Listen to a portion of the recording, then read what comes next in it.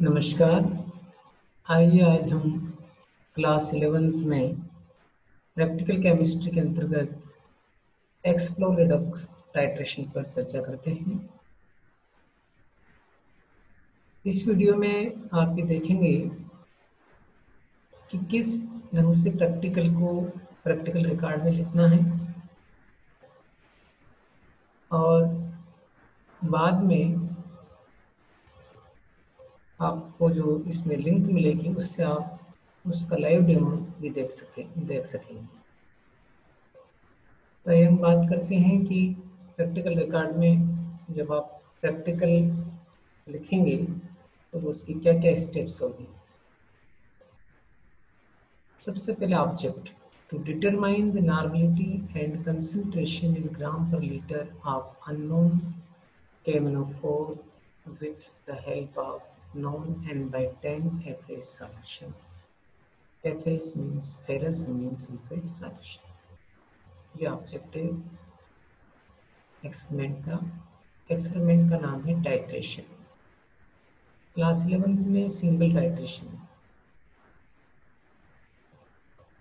Next point है equipments and reagents कौन कौन से इक्विपमेंट या उपकरण काम में आएँगे burette Plate, concave glass, funnel, and wash bottle. For reagent, dilute H2SO4, unknown KMNO4 solution, n by 10 KMNO4, uh, n by 10 non-FA solution. आइए अब हम बात करते हैं टाइट्रेशन का प्रिंसिपल क्या है The determination of concentration of unknown solution with the help of known solutions known as titration. In unknown solution का कंसंट्रेशन डिटरमाइन करना टाइट्रेशन कहलाता है this titration is based upon oxidation reduction reduction titration in this titration ferrocerium sulfate ferrocerium sulfate also known as Mohr salt act as an reducing agent and potassium permanganate solution act as an oxidizing agent. The reaction between FAS and potassium permanganate is known as redox reaction. When FAS solution is titrated against potassium permanganate in the presence of acidic medium, pink color is obtained. तो ये जो pink colour आता है यही and point होता है तो ये जो है टाइट्रेशन का प्रिंसिपल है आइए हम बात करते हैं इसमें किस प्रकार से आप रिएक्शन लिखेंगे? टाइट्रेशन की इक्वेशन आपको दी हुई है पोटेशियम पर मैग्नेट फेरसनियम सल्फेट तो यहाँ पर प्रोडक्ट बनेगा potassium sulphate manganese sulphate ferric sulphate ammonium sulphate water में। तो यदि हम इस इक्वेशन की आयनिक इक्वेशन लिखें तो आप M N O four minus plus eight H positive plus five A P two plus M change to M N two plus plus five A P three plus plus four two यहाँ पर अभी देख रहे हैं कि जो ferrous है वो फेरिक आयन में ऑक्सीडाइज हो रहा है, इसलिए इस प्रोसेस को ऑक्सीडेशन कह रहे हैं। और एम एन ओ फोर का एम एन टू प्लस में रिडक्शन हो। यहाँ M N oxidation state plus seven है और यहाँ M N oxidation state two plus तो इस प्रकार से देखते हैं कि जो केमनोफोर का जो डार्क पर्पल कलर होता है टाइट्रेशन के बाद और पिंक कलर में चेंज हो जाता है। ये आपको रिएक्शन लिखना है। अब नेक्स्ट प्रोसीजर जब हम टाइट्रेशन करेंगे तो कौन सी प्रोसीजर रहेगी, क्या स्टेप्स रहेगी, उस पर हम चर्चा करते हैं। First wash and rinse the burette in pipette with testing second rinse and fill the burette with potassium permanganate solution burette में आपको chemical solution fix the burette in the burette stand of rinse the pipette and conical flask with a standard FI solution. Take the initial reading of the burette before starting the titration titration शुरू करने से पहले आपको initial reading लेना है न्यूरेट में आपने कहाँ तक रीडिंग पर भरा है Now pipette out 10 ml of n by 10 standard FS solution into the container and add a half test to tube of dilute sulfuric acid in it. जो पिपेट से जो आपने एस सोल्यूशन लिया उसमें डायरेक्ट एस्टोस पर मिलाना है लगभग half test tube now titrate the FS solution with the standard cannula flow up to a faint pink color is not obtained तब तक की पिंक कलर नहीं होता this is the end point K104 act as a self indicator यहाँ पर K104 indicator काम करना है self Repeat the titration until two concordant readings are not obtained. Observe the volume of K104 using titration and note down the purity readings in the observation tape. तो ये steps आपको जो है titration के procedure में लिखना है आप यहाँ पर ये देख रहे हैं, ये ब्यूरेट है। और उनकी क्लास के ब्यूरेट में केमियोसाइलेशन बना हुआ है। ये किस टाइप से पिंक कलर आता है, वो आपको दिखाया गया है।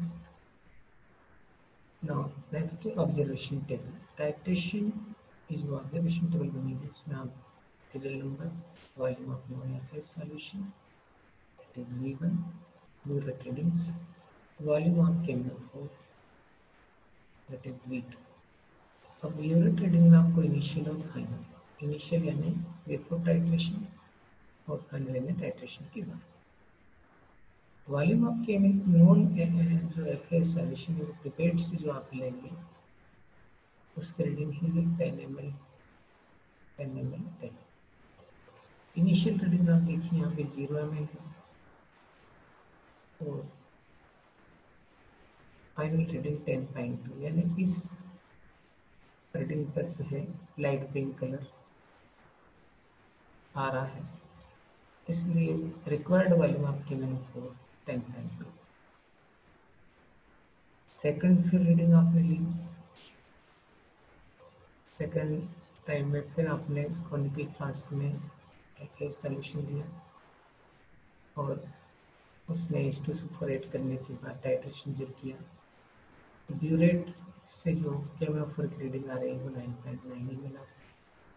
तो रिक्वायर्ड वॉल्यूम आपके नाइन पॉइंट नाइन फिर आप रिपीट करेंगे और तब तक रिपीट करना जब तक कि टू कॉन्कोडेंट यानी दो एक समान रीडिंग नहीं आ जाए।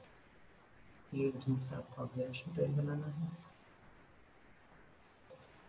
अब कैलकुलेशन करना है।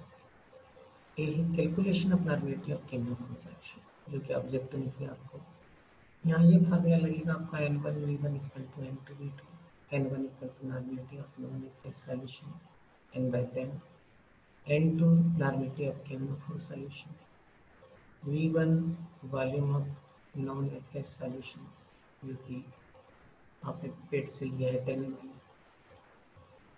और volume of K M N O four solution जो रीडिंग में आया है टेन ये वैल्यू जब इस फार्मूले में आप पुट करेंगे तो N by ten into ten equal to N two into nine nine हो जाएगा। क्योंकि एन वन की वैल्यू एन बाई टेन है वी वन टेन है और V two nine by nine है। तो नॉर्मली तो आप कैमरा को solution N two N by nine by nine आएगा। अब ये जो रीडिंग है, ये जब आप प्रैक्टिकल करेंगे तो आपकी जो रीडिंग आती है, वो आपको यहाँ पर नोट करके और कैलकुलेशन करना इसमें कैलकुलेशन का जो बी पार्ट है, वो determination of strength of chemical solution पहले केमिकल सॉल्यूशन का इक्विवेलेंट वेट की यहाँ पे ज़रूरत होगी equivalent mass of chemical equal to mass of chemical upon number of electron loss तो ये 158 और 1 पे 31 टाइम 6 हो जाएगा, इसका equivalent mass chemical we know that strength equal to gravity into equivalent mass strength अभी आपने देखा, कितना है?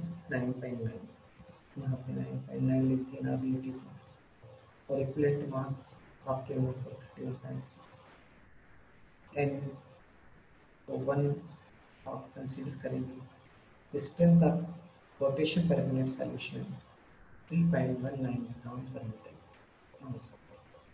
ये उसकी स्ट्रेंथ हो। अब यदि आप मोलिडिटी भी कैलकुलेट करना चाहते हैं तो नॉर्मेटिव और मोलिडिटी ये रिलेशन पर कैमियो होते हैं? अलग अलग कंपाउंड के लिए रिलेशन अलग अलग हो सकता है। N equal to N by five यहाँ हम एन की वैल्यू रख देंगे और डिवाइड करेंगे। तो जो मोलिडिटी की एन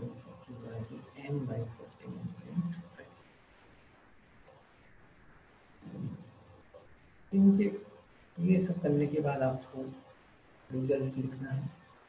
नॉर्मेलिटी ऑफ़ अननोन के note for solution N by nine by nine molarity अभी आपने देखा M by forty nine point four और स्ट्रेंथ ऑफ़ अननोन के नोट फॉर वन नाइन ये तीनों रिज़ल्ट आपको नोट करना है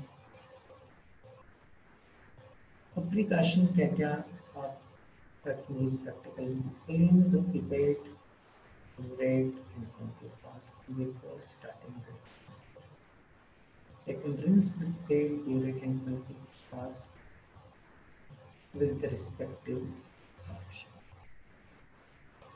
solution do not blowing paper pipette को कभी कभी करना है use direct test to solve RS refinery of solution accurate readings from burette at the end point जब पिंक कलर आ रहा है उसमें तो यूरेट से reading note करना the white part while taking the burette readings पीछे आप यूरेट के पीछे लगा करके भी रीडिंग ले सकते हैं प्रिकॉशन से। अब आपको एक एक्सरसाइज यहाँ पर दे रहे हैं एक्सरसाइज नंबर टू So देखिए to determine the non-related concentration in gram per liter of fluid chemical with the help of n by 20. ये जो आपने भी पूरा प्रैक्टिकल देखा है n by 10 का, था। N by 20 FS सॉल्यूशन साथ में। है तो ये हम आपको एक एक्सरसाइज दे रहे हैं लेकिन आपको इसमें क्या करना है कि जहाँ n की वैल्यू आपने n by 10 रखी, वहाँ पे by 20 लिखे पूरा प्रैक्टिकल को perform A live demonstration visited on link part 1 titration, part 2 titration जो वीडियो है यहाँ कुछ इंस्ट्रक्शंस हैं। पहले आप राइट क्लिक करेंगे पर फिर इसके बाद आप जाएँगे ओपन हाइपर लिंक पे क्लिक करेंगे।